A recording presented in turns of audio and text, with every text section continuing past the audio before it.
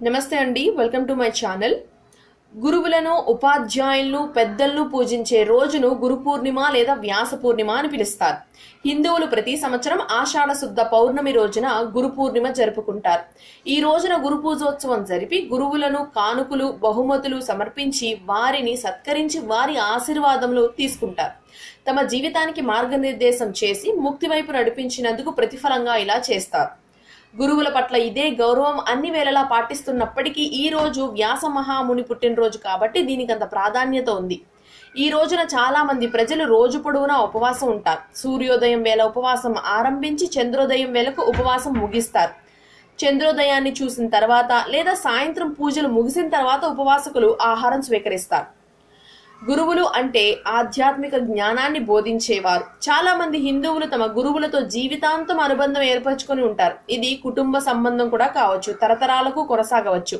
హిందూ మతంలో గురువును భగవంతునికి భక్తునికి మధ్య సంధానకర్తగా భావిస్తుంటారు. వేదవ్యాసముని మానవ జాతికంతటికీ మంచి ఆధ్యాత్మిక వారసత్వాన్ని మిగిల్చి వెళ్ళారు కాబట్టి ఆయన్ను మానవాళికంతటికీ గురువుగా భావిస్తుంటారు. వేదవ్యాసుని పూర్వనామం కృష్ణద్వైపాయనుడు. వేదకాలపు సంస్కృతినంతా నాలుగు వేదాల్లో ఆయన సంకలనం చేసిన తర్వాత ఆయన్ను వేదవ్యాసుడిగా పిలవడం ప్రారంభించారు. దక్షిణ భారతదేశంలో కొన్ని ప్రాంతాల్లో పూర్ణిమ వ్రతాన్ని ఆదిశక్తి పేరిట ఆచరిస్తుంటారు. ఈ పర్వదినం సందర్భంగా ఆలయాల్లో ప్రత్యేక పూజలు నిర్వహిస్తారు. పూర్ణిమ నాడే కొంతమంది సత్యనారాయణ వ్రతాన్ని లేదా పూజను నిర్వహిస్తుంటారు. షిరిడి సాయిబాబా ఆలయాల్లో ప్రత్యేక పూజలు ఈ రోజున మొదలుగుని మూడు రోజుల పాటు నిర్వహిస్తారు. వ్యాస పూర్ణిమ పర్వదినాన్ని ఆదిశంకరాచార్యులు వారు ఏర్పాటు చేసినట్లు పెద్దలు చెప్తారు. ఈ పర్వదినాన కొన్ని ఆలయాల్లో పూజలు జరుగుతాయి.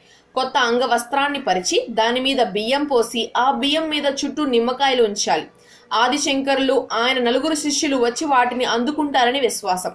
పూజ అయిన తర్వాత తలా ఒక గుప్పెడు బియ్యాన్ని తీసుకుని తమ ఇళ్ళలోని బియ్యంలో కలుపుకుంటారు. బియ్యం కొత్త వస్త్రం అనేవి లక్ష్మీదేవి చిహ్నాలని నిమ్మపళ్ళు కార్యసిద్ధికి సూచికాలని పురోహితులు అంటున్నారు. అందుచేత గురు పౌర్ణిమ రోజున పూజ చేసేటప్పుడు కుంకుమ మరియు విభూది నుదుటున పెట్టి దేవతాస్తుతి చేయాలి గురు పౌర్ణిమ రోజున నుదుటు బొట్టు పెట్టుకోకుండా దేవతాస్తుతి చేయకూడదని పురోహితులు సూచిస్తున్నారు. ఇంకా ఆ రోజు సాయంత్రం ఆరు గంటల ప్రాంతంలో ఆలయాల్లో ఆవునేతితో దీపం వెలిగించిన వారికి సుఖ సంతోషాలు చేకూరుతాయని విశ్వాసం.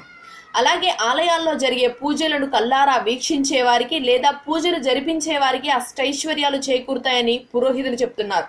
గురు పౌర్ణిమ రోజున వస్త్రదానం చేసే వారికి సకల సంతోషాలు చేకూరుతాయని వ్యాస మహర్షి పేర్కొన్నట్లు పురాణాలు చెప్తున్నాయి.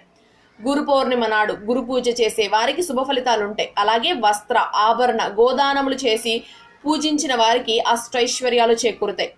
వ్యాస పూర్ణిమ అని పిలువబడే గురు పూర్ణిమ రోజున ఉదయం ఐదు గంటలకే లేచి శుచిగా స్నానమాచరించి ఇల్లంతా శుభ్రం చేసుకుని పూజా మందిరము ఇంటి గడపకు పసుపు కుంకుమలతో పువ్వులతో అలంకరించుకోవాలి.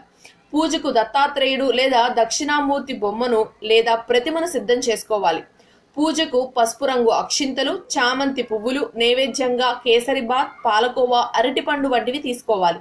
గురు పౌర్ణిమ రోజున ఉదయం పదకొండు నుంచి పన్నెండు గంటల్లోపు పూజ చేయాలి. తులసిమాల ధరించి ఉత్తరం వైపు తిరిగి కంచు దీపంలో ఐదు దూదివత్తులతో పంచహారతలిచ్చుకోవాలి పూజకు ముందు సాయిబాబా దత్త స్తోత్రములు గురుదత్త శ్రీ సాయి సచ్చరిత్రములతో ధ్యానించాలి.